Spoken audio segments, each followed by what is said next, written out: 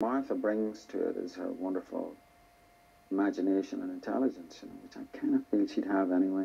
It's become much richer and more colourful as we've worked on it. So, uh, and you know, that was something that she assured me would happen, and she was right. She did it. I suppose that's the beauty about film. You can you can work on it as it's happening, and uh, you know, I'm, I'm deeply impressed by her.